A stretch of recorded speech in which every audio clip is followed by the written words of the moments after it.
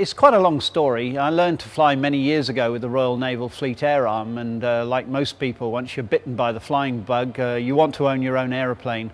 So uh, a few years ago, I started looking around and I went and looked at and flew in all manner of aircraft, ranging from second-hand uh, GA aircraft right through to the new and modern breed of uh, recreational aircraft. And after a long search, uh, I found more by chance than anything else uh, a Foxbat. And it, a flight in it convinced me totally.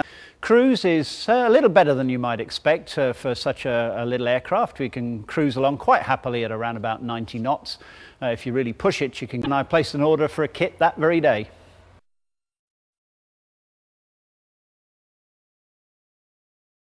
Okay, let me tell you a little bit about the basic information about the aircraft, its flying envelope and so on. Uh, the Foxbat's a two-seat aircraft with a 100 horsepower engine. Empty, it weighs about 265 kilos, so the power to weight ratio is quite spectacular. As a result, you can do very short field takeoffs. Uh, we were doing a little flying yesterday. Uh, we were getting off the ground in certainly under 40 meters and landing in the same distance. Takeoff uh, is very short. Climb out is pretty good. Uh, with one person, you'd expect 13, 1400 feet a minute, no problem at all. Two up, you should certainly break 1,000 feet uh, a minute in climb. Get up to 105, but you end up burning quite a lot of fuel. It's most comfortable between 80 and 90 knots as a crew. The costs of the aircraft, uh, certainly compared with GA planes, are, are very reasonable indeed.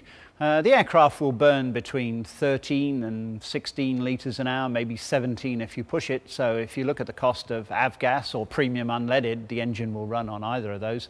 Uh, you're looking at probably something around um, 13 to 20 dollars an hour, depending on where you buy your fuel. Uh, then you have to budget really for oil and filter changes every 50 hours. That probably adds another dollar or so, something like that.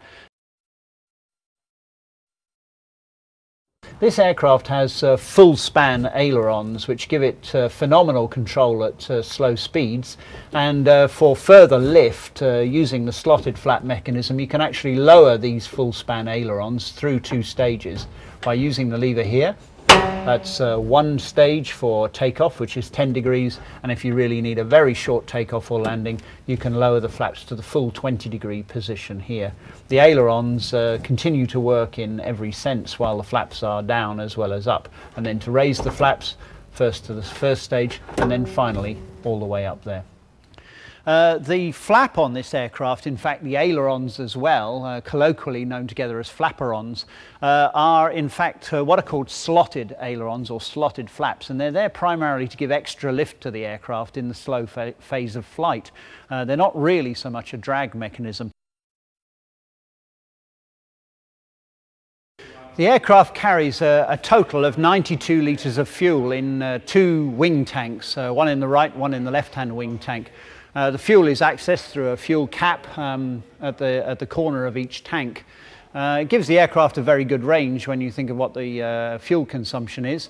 Uh, being on top of the wing is not a problem. If you want to refuel at a, a Bowser at an airfield uh, away from your home field, all uh, airfields like this provide uh, steps for you to climb on so that you can reach in and fill the tank on the wing, no problem at all.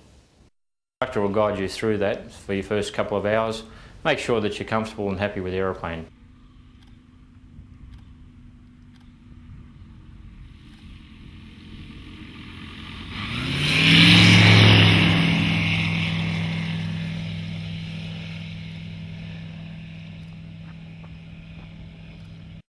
aircraft. The aircraft stalls cleanly. It tells you when it wants to stall. It's got a roomy cabin. Uh, all the features in it, from my point, from the instructor's point of view, are very good. Uh, the seating is comfortable. The controls are effective, and the aircraft itself is an incredibly short field landing uh, aeroplane. The ergonomics of the aircraft are extremely good.